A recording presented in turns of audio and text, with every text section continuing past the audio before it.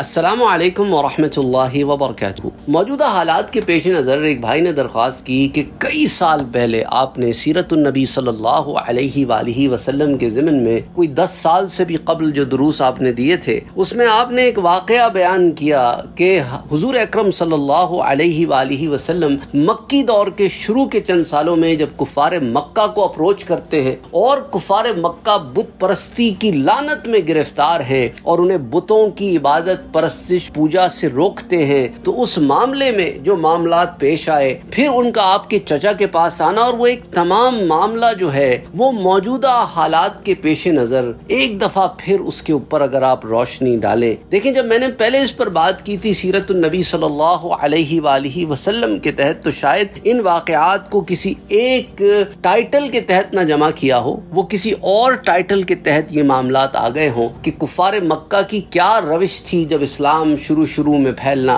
या शुरू हुआ मक्के में तो उस ज़मीन में किसी किसी और टाइटल के तहत ये तफसीलात आ गई होंगी। तो इसलिए मैं समझता हूँ कि ज़रूरी है कि इसको एक दर्स की सूरत में भी आपके सामने रखा जाए, ताकि आपको पता चले। आपको याद होगा कि प्यारे नबी वसल्लम को सबसे पहले तो यही फ़र्क, अल्लाह सुबहान तआला की तरफ़ से था कि वो अंदर अशीरतकल अकरबीन, अपने जो करीबी रिश्तेदार हैं, उन्हें आप दीन इस्लाम की तरफ़ बुलाएँ, उन्हें दावत दें, और उसके अंदर जो तफसीलात बात है वो मैं आपसे शेयर कर चुका हूँ पहले। अच्छा अब जिस पर मैं आपसे बात करने लगा हूँ, उसका ताल्लुक ये है कि हुजूर सल्लल्लाहु वसल्लम ने उसके बाद कुफार मक्का जो है, उनको डायरेक्ट अप्रोच किया और कुरैश की मजालिस को अप्रोच किया। तो हुजूर सल्लल्लाहु अलैहि वसल्लम ने मुख्तलिफ़ लोगों को बुलाया। कभी उनकी मजलिसों से गुजरते और कुरैश को इसकी तरफ़ दावत देते तो कुरैश आपस में फिर इस मुकाम पर पहुँच गए। शुरू शुरू की बात थी कि जब हुजूर सल्लल्लाहु अलैहि वसल्लम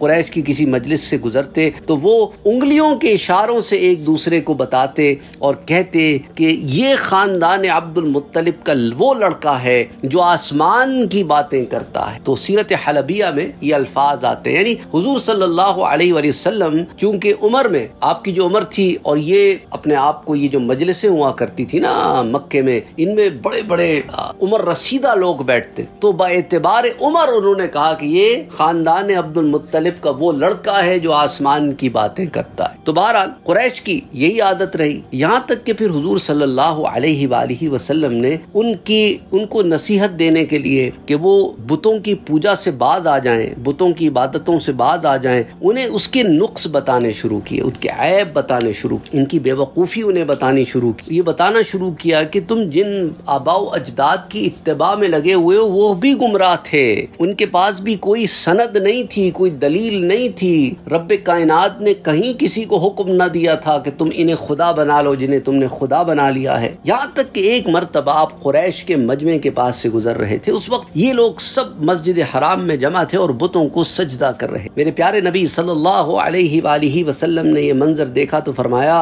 या कुरैश, ए गिरोह कुरैश, खुदा की कसम, तुम अपने बाप इब्राहिम सलाम के रास्ते से हट गए हो तो कुरैश आपकी तरफ़ मुतवजा हुए और कहने लगे कि हम अल्लाह की मोहब्बत में ही इन बुतों को पूछते हैं, ताकि इनके ज़रिए अल्लाह की कुर्बत हासिल कर ये बे स्टेटमेंट आपको वही मिलेगी जो आज बुतों की पूजा करने वाले कहते हैं कि हमें भी पता है कि ईश्वर एक खुदा है और ये सारे इन्हें हम इसलिए पूछते हैं ताकि ईश्वर तक हमारी चूँकि रसाई नहीं है, इनकी हम कुर्बत हासिल करते हैं तो उसके थ्रू हम अपना काम कराते वही थॉट प्रोसेस कुफार मक्का का। यही मौका था, इमाम हलबी कहते हैं मुसियर में। यही वो मौका था कि जिस मौके पर अल्लाह अज्जल ने कुरान करीम की आय मुबारक नाजिल फरमाई कि मेरे प्यारे नबी, इनसे कह दे, कुल इनसे कह दे, इन कुन तुम तुहब्बून अल्लाह, ये जो तुम अल्लाह से मोहब्बत के दावे करते हो ना कि हम अल्लाह की मोहब्बत में ही बुतों को पूछते हैं कि इस तरह हम अल्लाह के करीब हो सके तो इनसे कह दे, इन कुन तुम तुहब्बून अल्लाह, अगर तुम वाकता अल्लाह से मोहब्बत रखते हो तो फतबूनी तो मेरी इतबा करो। क्योंकि मैं अल्लाह का रसूल हूँ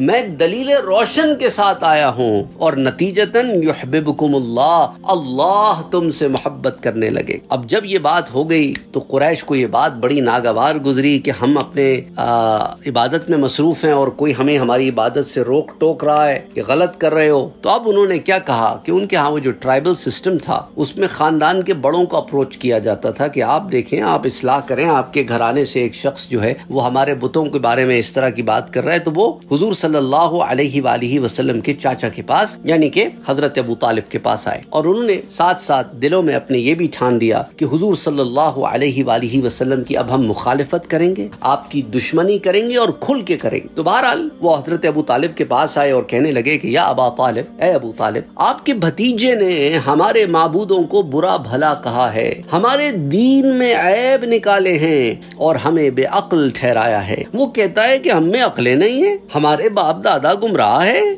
इसलिए या तो हमारी तरफ़ से आप उन्हें समझाएँ या हमारे और उनके दरमियान में से हट जाएँ ताकि हम खुद फैसला कर लें, क्योंकि खुद आप भी कभी आपने इस पर एतराज़ नहीं किया। तो आपने चूँकि आपने एतराज़ नहीं किया तो हम आपको अपना मुखालिफ नहीं मानते। तो आप हट जाएँ या समझा दें, पर यह मामला अब यूँ चल नहीं सकता। ये सुनकर हज़रत अबू तालिब ने इन लोगों से निहायत नरमी से बात की, उन्हें समझाया और बहुत खूबसूरत अंदाज में उन्हें समझाया। आप सरदार थे, एक आपका आला मुकाम था आप पता था हज़रत अबू तालिब को कि लोगों से कैसे डील करते। बहरहाल, वो वापस हो उधर, हज़रत अलैहि वसल्लम अल्लाह ताला के दीन का ऐलान फरमाते रहे और लोगों को अल्लाह के रास्ते की तरफ़ बुलाते रहे। और इस रास्ते में किसी शय की, किसी भी तनकीद की, किसी बड़े से बड़े जब जाबिर इंसान की परवाह न अच्छा हदीस शरीफ में आता है कि हज़रत जब्राइल हजूर सल्लल्लाहु अलैहि वसल्लम के सामने इंतहाई खूबसूरत शक्ल और इंतहाई बेहतरीन खुशबू लगाए हुए ज़ाहिर हुए और बोले कि या मोहम्मद सल्लल्लाहु अलैहि वसल्लम, अल्लाह ताला आपको सलाम फरमाता है। अल्लाह अकबर। यानी अब आप ये देखे ना रब कायनात अपने बंदे पर अगर एक अल्लाह का फरिश्ता आगे गए कि अल्लाह पर सलाम बेचता है तो क्या अंदर से ईमान की कैफियत होगी? ईमान ने ऐसे चटान के भी ऊपर पहुँच जाए ना, ऐसा ईमान हो जाए कि जमाने से टकरा जाऊँ मैं उस रब के लिए। वो रब ने सलाम भेजा है, अल्लाह अकबर। ये भी काफ़ी था। लेकिन आगे हज़रत जिब्राइल ने फरमाया कि रब ताला फरमाता है कि आप तमाम जिनों और इंसानों की तरफ़ अल्लाह के रसूल हैं। ये बात ऐसी थी जो पहले कभी किसी नबी और रसूल को इतने हाई लेवल इतनी ऊपर की कैटेगरी के ऊपर नहीं भेजा गया। हर रसूल अपनी कौम की तरफ़ आया, एक इलाके की तरफ़ आया, लेकिन हुजूर सल्लल्लाहु अलैहि वसल्लम को जिनों इंस की तरफ़ मबूस किया गया। तो फरमाया कि आपको अल्लाह अज्जल ने जिनों और इंसानों की तरफ़ रसूल बनाकर भेजा है? क्यों भेजा है? इसलिए इनको ला इलाहा इल्लल्लाह के कलमे की तरफ़ बुलाई। ये दूर हो गए हैं। ये अल्लाह की मोहब्बत है अपने बंदों के साथ, जो अल्लाह ताला अपने बंदों को अपनी तरफ़ बुलाता है। जो जरा रास्ते से डिविएट होकर ना इधर उधर हो जाते हैं। या का नाबुदू व या का नस्ताइन सिर्फ़ तेरी ही इबादत करते हैं और सिर्फ़ तुझ ही से मदद चाहते हैं। इसकी तरफ़ बुलाता है। आ जाओ उस रास्ते की तरफ़, जो सिरात मुस्तकीम है, और छोड़ दो उन रास्तों रास्तों को, जो दालीन के लिए है, जो मकदूब के लिए है, उन रास्तों को छोड़। तो हुजूर अकरम सल्लल्लाहु वसल्लम ने लोगों को तबलीग करनी शुरू जबकि हालत ये थी कि काफिरों के पास पूरी पूरी ताकत और कुत थी। वो आपकी पैरवी करने पर तैयार भी नहीं थे, क्योंकि कुफर इनके दिलों में ऐसे रच बस चुका था और कुफर की मोहब्बत उनके दिलों में सराहियत कर गई बड़ा अजीब सी अजीब सी बात है ना। लेकिन आप कुफार से बात करें, उनके दिलों में कुफर रच बस गया होता है। वो सुमन बुकमुन, उम्युन हो जाते हैं कि अंधे गूँगे बैरे हो जाते हैं। उन्हें हिदायत सुझाई नहीं देती। उन्हें हिदायत गुमराही लग रही होती है। इनके दिल कुफर और गुमराही से भर चुके होते हैं, बीमार दिल होते हैं। तो हुजूर सल्लल्लाहु अलैहि वसल्लम की तबलीग का सिलसिला बहुत ज़्यादा बढ़ गया। यहाँ तक कि लोग आपसे फिर दूर होने चले गए। तो भाई, दूर होते रहे। लोग एक दूसरे को कहते कि, हुजूर की मजलिस में ना बैठो। हुजूर पास आए तो तुम उठ जाओ। इस तरह के मामला होने लगे, दूर होने लग गए, और उनके दिलों में आपकी दुश्मनी और आपका हसद जम गया। फिर कुरैश के दरमियान आपस में हर वक्त हुजूर वसल्लम का चर्चा होने लगा, और लोग एक दूसरे से बढ़कर आपसे दुश्मनी, अदावत तो कत्ल कताल के मंसूबे बनाने लग गए। यहाँ तक के सोचने लगे कि आपका मुकात यानी कंप्लीट बाइकआउट कर दिया जाए। इसके बाद ये लोग फिर दूसरी मरतबा हज़रत अबू तालिब के पास आए और कहा कि, या अबा तालिब हमारे दरमियान आप बड़े हैं, आप काबिल इज़्ज़त हैं, आप बुलंद मरतबा आदमी हैं, आपके बड़े एहसानात हैं। हमने आपसे दरख्वास्त की थी कि आप अपने भतीजे को रोकिए, मगर आपने इसको कुछ नहीं कहा। हम लोग खुदा की कसम ये बात बर्दाश्त नहीं कर सकते कि एक शख्स हमारे बाप दादा को कहे कि गुमराह थे, हमें बेअकल कहे, हमारे माबूद को कहे कि ये झूठे हैं, तुमने खुद घड़ लिए हैं। इसलिए या तो अब आप उनको समझा लें, वरना सुन लें कि हम इस मामले में आपसे और इनसे दोनों से उस वक्त तक मुकाबला करेंगे, जब तक कि दोनों फरीक में से एक खत्म ना हो जाए। अब देखें, बात कहाँ तक पहुँच गई? हज़रत अबू तालिब की इतना मानते हैं, उनकी इज़्ज़त करते हैं, इकराम करते हैं कहते हैं कि अगर आप ना हटे तो फिर आप भी उसकी जद में आएँगे, क्योंकि हमने तो अब ठान ली है कि छोड़ेंगे नहीं। ये कहकर वो वापस लौट। हज़रत अबू तालिब को अपनी कौम के इस रवैये पर बहुत गुस्सा आया, और हुजूर सल्लल्लाहु अलैहि वसल्लम के साथ उनकी जो दुश्मनी की बात सुनी तो फिक्रमंद भी हो गए, क्योंकि हुजूर से बहुत मोहब्बत करते। वो इस चीज़ को पसंद नहीं करते थे कि कोई शख्स भी हुजूर सल्लल्लाहु अलैहि वसल्लम की शान में कोई गुस्ताखी, कोई ऐसा अमल करे। देखो ना, हज़रत अबू तालिब की हुजूर से मोहब्बत ये सबक देती है उम्मत को कि मेरे नबी की शान में ना ना। अल्लाह अकबर अल्लाह अकबर। उसे रब ने ऊँचा किया है, उन्हें रब ने ऊँचा किया है। उनका ज़िक्र रब ने बुलंद किया है वो रफाना लका ज़िक्र तो बहरहाल हज़रत अबू तालिब हजूर वसल्लम के पास आए और कहा कि आए मेरे भतीजे, तुम्हारी कौम के लोग मेरे पास आए थे और उन्होंने मुझे ऐसा ऐसा कहा। इसलिए अपने और मेरे ऊपर रहम करो और मुझ पर ऐसा बोझ ना डालो जिसे बर्दाश्त करने की मुझमें ताकत ना। अबू तालिब हज़रत अबू तालिब की ये बात जब मेरे प्यारे नबी सल्लल्लाहु अलैहि वसल्लम ने सुनी तो ये समझे कि चाचा भी आपका साथ छोड़ रहे हैं। और अब वो भी आपकी मदद और मुताफ़ात नहीं करेंगे, इसलिए आपने अब वो जुमला बोला जो तारीख में सुनहरे हरूफ से लिख। आपने कहा, या अम्मी, ऐ मेरे चाचा, वल्लाही खुदा की कसम, अगर ये लोग मेरे दाएँ हाथ में सूरज और बाएँ हाथ में चाँद रख कर भी मुझसे ये कहें कि इस मामले को छोड़ दूँ, यहाँ तक कि खुद अल्लाह ताला ही इसको ज़ाहिर फरमा दे तो भी मैं हरगिज इसे नहीं छोड़ू। बात खत्म हो गई। अब ये बात जब मेरे प्यारे नबी ने कही तो उसका एक तासुर था। हज़रत अबू तालिब ने जब मेरे प्यारे नबी की तरफ़ देखा तो देखा कि हुजूर की आवाज़ भी भर आई है और आँखों में आँसू भी छलक आए हैं। एक जज्बाती लम्हा था, इमोशनल। इसके बाद हुजूर सल्लल्लाहु अलैहि वसल्लम उठकर जाने लगे तो अचानक हज़रत अबू तालिब का दिल मोहब्बत से सरशार, एक जज्बात उमंड आए। पुकारा है मेरे भतीजे, कहाँ जाते? इधर आओ। हुजूर वापस आए तो हज़रत अबू तालिब ने कहा कि, जाओ भतीजे जो दिल चाहे कहो, खुदा की कसम, वल्लाही, मैं तुम्हें किसी हाल में छोड़ नहीं सकता। अल्लाह अकबर अल्लाह अकबर। ये मोहब्बतें पैदा करो अपने दिलों में मोहम्मद मुस्तफ़ा के लिए, सल्लल्लाहु अलैहि वसल्लम मुसलमानों, हम किधर जा रहे हैं? भाई न तदबून इसके साथ ही पता है, हज़रत अबू तालिब ने एक शेर पढ़ा। पता है शेर क्या था? उन्होंने कहा, वल्लाही, खुदा की कसम, वल्लाही लसिल्लु इलैका बिजमइहिम हत्ता उसिदु फित्तुराब दफीना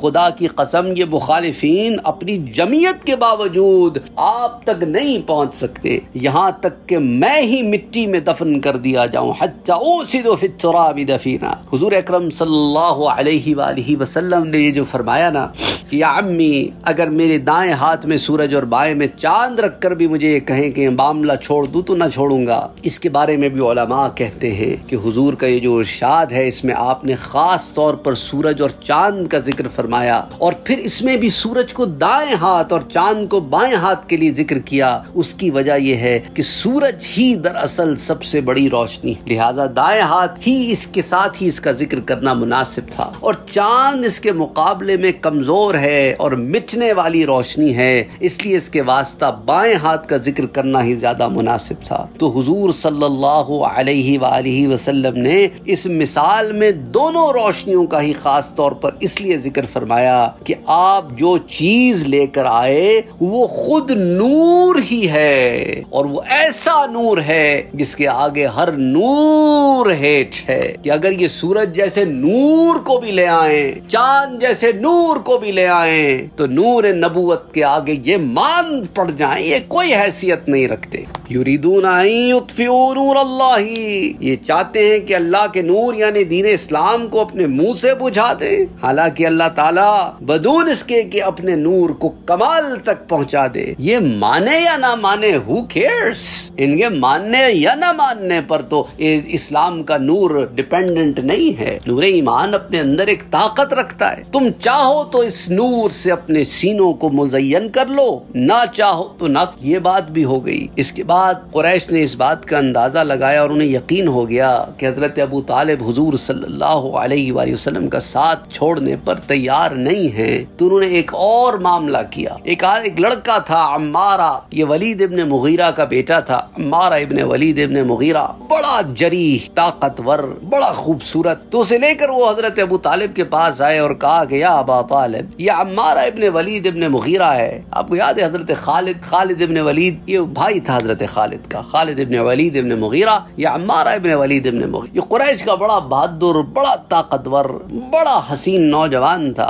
तो कहा गया अबा तालिब, आप ऐसा करें कि इस अम्मारा को लेकर अपना बेटा बना लें, मुतबन्नी कर लें, और इसके बदले में अपने भतीजे को हमारे हवाले कर दें। तो एक बंदा हमने आपको दिया, और वो भी ऐसा कि बड़ा शुजा, बड़ा जरीह, बड़ा ताकतवर साथ, बड़ा हसीन जमील, और फिर बनु मखजूम से ताल्लुक रखता है।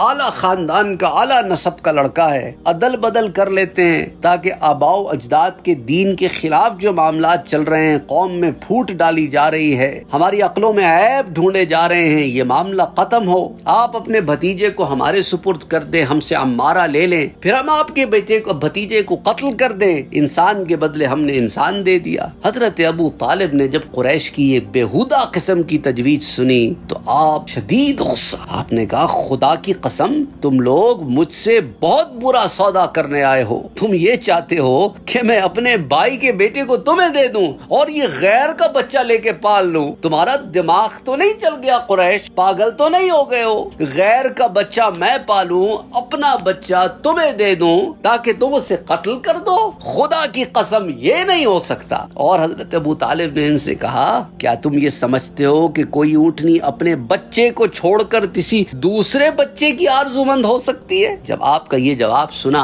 तो वहाँ पर कुरैश का एक सरदार बैठा था मुतम इब्न अदी। उसने कहा, अबू तालिब, खुदा की कसम, तुम्हारी कौम ने तुम्हारे साथ इंसाफ का मामला किया है, और जो बात तुम्हें नापसंद है, इससे छुटकारे के लिए कोशिश कर, अब मैं नहीं समझता कि इसके बाद तुम इन कोई और पेशकश कबूल हज़रत अबू तालिब ने उसकी जब बात सुनी ना मुतम इब्न आदि की, कि एक बेहुदा बात को ये डिफेंड कर रहा है तो कहा, वल्लाही, खुदा की कसम, उन्होंने मेरे साथ इंसाफ नहीं किया, बल्कि तुम सबने मिलकर मुझे रुसवा करने और मेरे खिलाफ गठजोड़ करने के लिए सब कुछ किया है। इसलिए अब जो तुम्हारे दिल में आए कर लो। न तुम्हारे साथ कोई ये मामला करे कि अपने लड़के को दे दो, गैर का लड़का लेके पाल लो, तुम खुद तो ना करो और मेरे पास तजवीज लेके आए और कहते हो कि बड़ा इंसाफ का फैसला किया है। कुछ होश के नाखुन लो। खुदा की कसम, ये इंसाफ नहीं है, ये तो रुसवाई है, ये तो जग हसाई है। जमाने वाले भी कोई किसी को बताओगे तो ये कहेगा कि ये क्या मामला है कि अपना दे दिया, गैर का पाल रहे हो? और बाद में पता है क्या हुआ? ये जो बच्चा ले आए, जो लड़का ले आए थे ना, Ammara ibn Walid ibn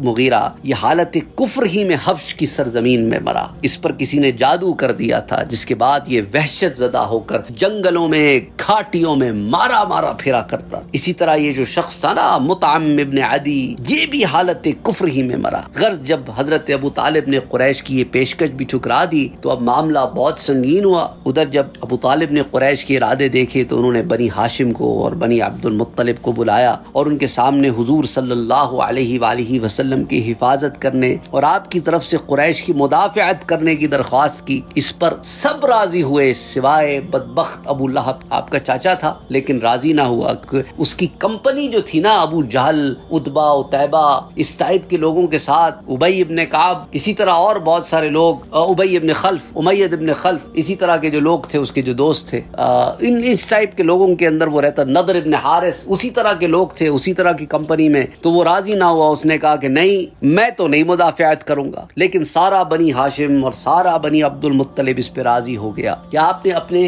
वालिद के भी सारे खानदान को बुलाया, नहीं, अपने भाइयों को, उनकी औलादों को भी बुलाया, और अपने दादा के जो और बच्चे थे ना, अपने चचाओं, उनकी औलादों को भी बुलाया तो इसलिए मैं बनी हाशिम और बनी अब्दुल मुत्तलिब दोनों का ज़िक्र कर रहा हूँ। तो अब ये तनहा वो था जो हुजूर पर जुल्म और सख्ती करने के लिए अबू लहब बदबख्त आवाज़ उठाता था। इसी तरह जो लोग आप पर ईमान ले आए थे, ये उनकी मुखालिफत में भी अबू लहब पेश पेश रहता था। इसी तरह हुजूर सल्लल्लाहु अलैहि वसल्लम और आप पर ईमान लाने वालों को तकलीफें पहुँचाने के सिलसिले में भी ये कुरैश, ये शख्स जो है अबू लहब, ये कुरैश में बढ़ चढ़ कर हिस्सा लेता था कि हाँ तकलीफ़ दो, मैं देता हूँ। इन्ना व इन्ना इलैहि राजिऊन। बहरहाल, कुरैश का ये मामला चलता रहा, या मैं रोकता हूँ, एक छोटी सी बात आगे करता चलूँ, ताकि मुगालते पर मैंने पहले भी बात की है बाज लोग मुगालतन अबू जहल और अबू लहब में कंफ्यूज हो जाते हैं। हुजूर का जो चाचा है, जिसका ज़िक्र कुरान में, तब्बत यदा अबी लहब यूँ तब में आता है, अबू लहब, वो अब्दुल मुत्तलिब के बेटा है, और वो हुजूर का चाचा है अबू लहब। अबू जहल जो है, वो हुजूर का चाचा नहीं है।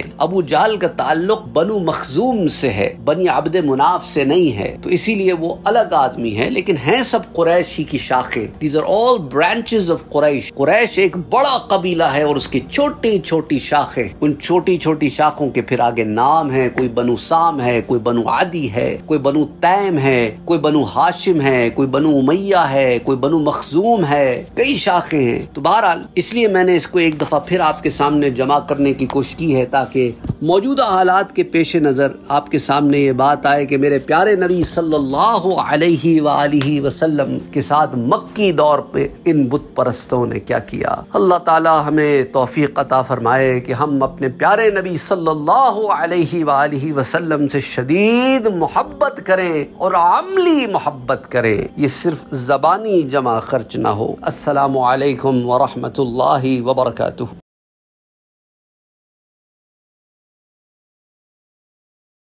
Don't forget to like, share, comment, and subscribe to Sayyid Saad Qadri.